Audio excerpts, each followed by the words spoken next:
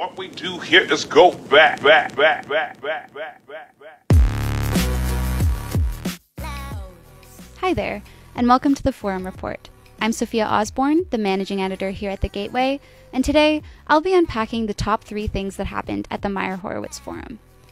This was the last forum of the election season, and as always, classes were canceled from 12 to 1 p.m. so students could attend.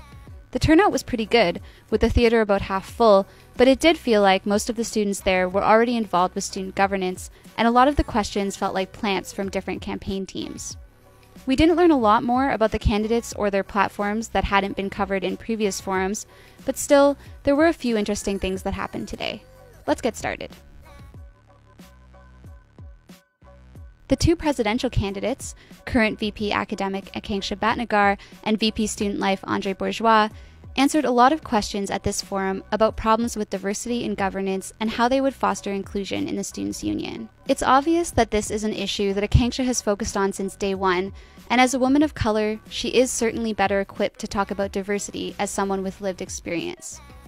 Still, Andre showed that he's at least done his homework when it comes to issues that affect groups like international students and students with disabilities on campus. It's hard, though, to go up against someone who has such a proven track record of work with initiatives like Stride. I wear my identity on my sleeve. I can't ignore it, I can't avoid it, even though I've been taught to. We talk about identity politics as if women of color have a choice in whether or not to engage in these discussions. Look up on the stage today. Do you see a pool of candidates that represents you? Because four years ago, when I was in the audience, I didn't. Diversity is more than a quota, inclusion is a process, and equity is a goal that will require each and every one of us to participate. And that's why I included in my platform a provision that I want to advocate for the addition of a seat on the Board of Governors for Indigenous students. Because when we talk about reconciliation and we talk about equity and diversity, what it really boils down to is giving power to the people whose voices are silenced. Another big focus at this forum was sexual violence, with the Vice President Student Life Race fielding questions about what tangible steps they would take to reduce sexual violence on campus and in the Greek community specifically. And we saw the three candidates take really different approaches. As expected, Jared Larson used his answers to show how much institutional knowledge he has, not just about initiatives at U of A, but other universities around the country. Shoa Rizvi took a hard stance and talked about working with the Dean of Students on penalties for perpetrators of sexual violence. And Rory Storm, who used to be president of the Interfraternity Council, talked about creating more workshops to prevent assaults before they happen. We need to do what is right for our students and follow a dedicated commitment to the pursuit of expanding our sexual violence initiatives. We need to create opportunities for victim survivors to be leaders on their path to healing and justice and rely on approaches to healing and justice that are rooted in empathy and support.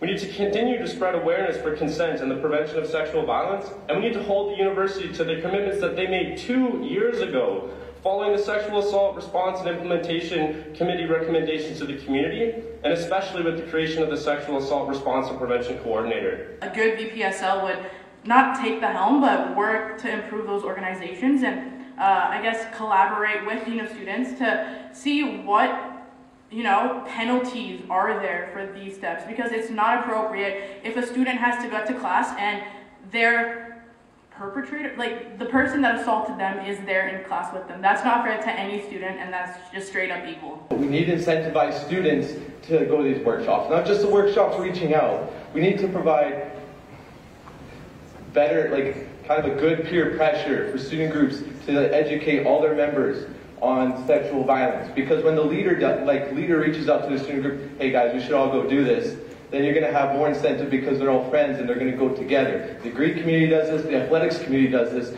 Why don't the rest of the student groups on campus do this?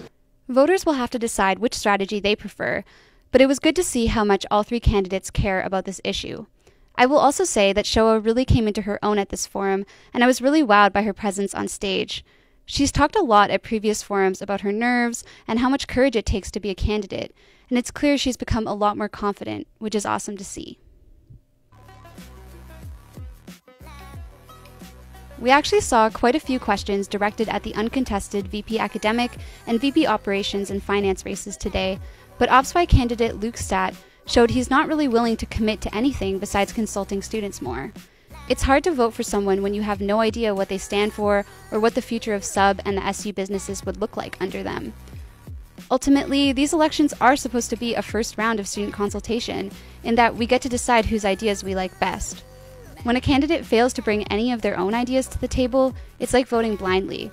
I hope that, if elected, Luke won't just expect students to do all that hard work for him.